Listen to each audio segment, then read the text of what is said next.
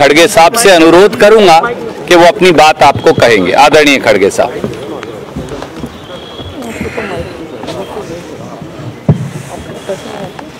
शुरू में तो मैं आपसे क्षमा चाहता हूँ और यहाँ की स्थिति क्या है, आपने खुद आँखों से देखा है, इसीलिए थोड़ी देर हो गई, थोड़ी में एक आधा घंटा देर हुआ, इसीलिए मुझे वक्त पे आपके सामने हाजिर होने का समय नहीं आया।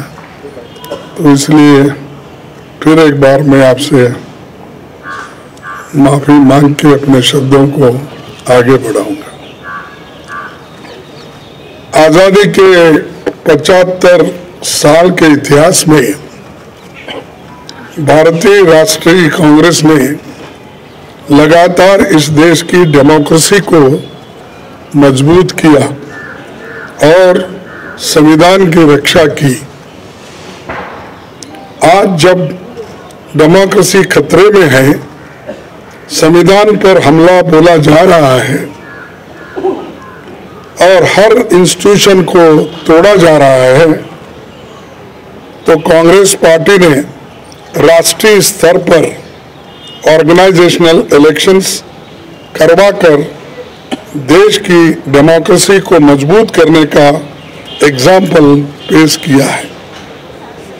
कांग्रेस प्रेसिडेंट के चुनाव के सफल आयोजन के लिए मैं पार्टी के सभी डेलीगेट्स सीनियर लीडर्स वर्कर्स और जो कोई भी इस कार्यक्रम से जुड़े हैं उन सबको मैं धन्यवाद करता हूँ। आप सबने डेमोक्रेसिक प्रोसेस में हिस्सा लेकर कांग्रेस को मज़बूत किया है। मेरे साथी श्री शशि तरूर को भी शुभकामना देता हूँ, क्योंकि ये चुनाव में हम एक एक, प्रतिनिधि के रूप में हम और वो खड़े थे। लेकिन चुनाव बहुत अच्छा चला और वो भी मुझे आकर मिले। एक दूसरे से हम मिलकर अपना जो आगे पार्टी को बढ़ाने का भी जो कुछ कोऑपरेशन मैंने भी पूछा और उन्होंने भी हँसते हुए, ये तो एक डेमोक्रेटिक प्रोसेस है, हमको मिल के काम करना है, ये कहा। तो इसलिए मुझे बड़ी खुशी होती है, उनको भी मैं धन्यवाद देता हूँ। सभी कांग्रेस कार्यकर्ताओं की ओर से मैं श्रीमती सोनिया गांधी का आभार व्यक्त करता हूँ। सोनिया जी ने पर्सनल सेक्रीफाइस कर तेईस वर्ष तक कांग्रेस पार्टी के अपने खून पसीने से सींचा है। सोनिया जी की लीडरशिप में न केवल हमने दो बार केंद्र में सरकार बनाई, बल्कि अनेकों राज्यों में कांग्रेस को रिवाइव किया और राज्यों में भी सरकार उन्होंने बनाई। उनका कार्यकाल इतिहास में याद रखा जाएगा, जो इतने लंबे समय तक पूरा कार्य करके पार्टी को एक शक्ति दी। आज देश में सबसे बड़ी समस्या कमरतोड़, महँगाई, यानी इन्फ्लेशन भयंकर बेरोजगारी अनएम्प्लॉयमेंट अमीर गरीब के बीच की खाई बढ़ते जा रही है और सरकार के द्वारा देश में देश में फैलाई जाने वाली नफरत, देश की इन समस्याओं के खिलाफ जन आंदोलन तैयार करके, करने के लिए पूर्व कांग्रेस अध्यक्ष श्री राहुल गांधी, कन्याकुमारी से कश्मीर तक 3,570 किलोमीटर की यात्रा पर निकले हैं। आज पूरा देश उनके संघर्ष से जुड़ रहा है। मैं कांग्रेस जनों और देश के लोगों से अपील करता हूँ कि देश के हित में भारत जोड़ो यात्रा में शामिल होकर श्री राहुल गांधी जी के कंधे से कंधे मिलाकर चलेंगे। उन्होंने मुझे एक घंटा पहले मुझसे उन्होंने कहा कि आपको अभिनंदन, आप कांग्रेस के अध्यक्ष बने हैं।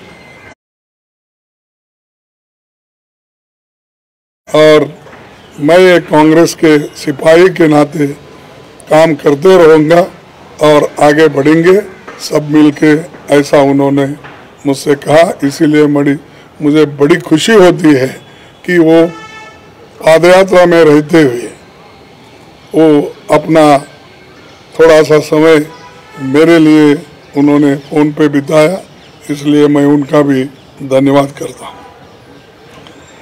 आज हम सबको मिलकर कार्यकर्ता के तौर पर काम करना है। यहाँ न कोई बड़ा है, न छोटा। सब बराबर है।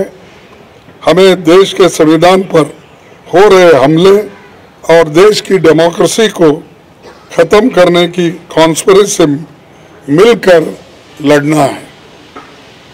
हमें फैसिस्ट ताकतों से लड़ना है, जो कम्युनलिज्म का चोला ओढ़कर डेमोक्रेटिक इंस्टीट्यूशन पर अटैक कर रहे हैं। हम संगठन को भी मज़बूत करेंगे और इन चुनौतियों से भी लड़ेंगे।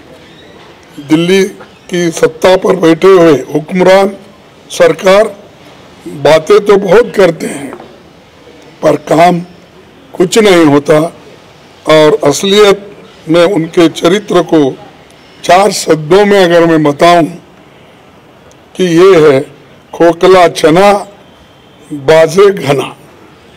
तो ये उनका काम है। तो दोस्तों, हमारा मानना है कि देश एक तानाशाही की सनक की भेंट नहीं चढ़ाया जा सकता।